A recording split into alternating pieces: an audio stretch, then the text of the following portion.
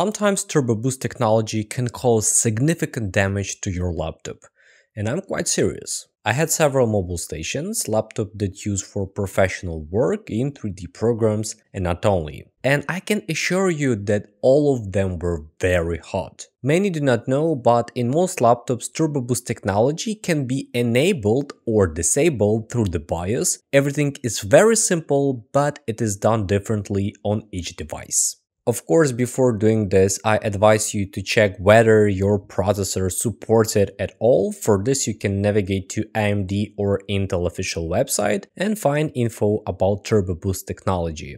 Speaking of damage, the fact is that the main function of Turbo Boost is to increase the frequency of the processor to the maximum when it's needed. Thanks to this, we get the maximum performance from our laptop. However, at this time, laptops begins to consume more energy. As a result, heats up a lot, which leads to throttling of the CPU. Overheating is not a good thing, and components like CPU or GPU are damaged over time, so keep that in mind. Not to mention that the coolers work very loudly and this annoys many users. It is also worth knowing when the turbo boost is turned on it has a bad effect on the battery life. Many will say that it's better not to turn off the turbo boost because we will lose performance for which we paid a lot of money. And you know what, here I partly agree with you. But the fact is that unfortunately laptops do not always show maximum performance even with the turbo boost technology on,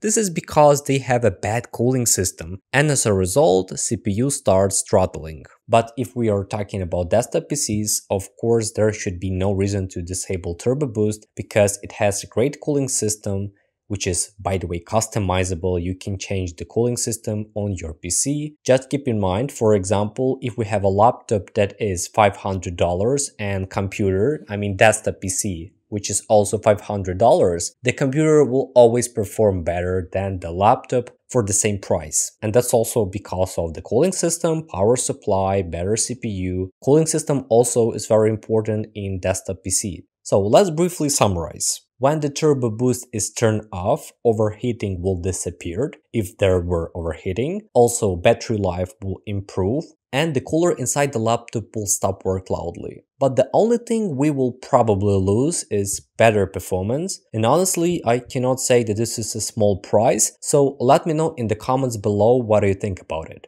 If this video was helpful, please like it. By the way, you can subscribe to my channel. Also, I recommend watching this video on how to save your laptop from damage.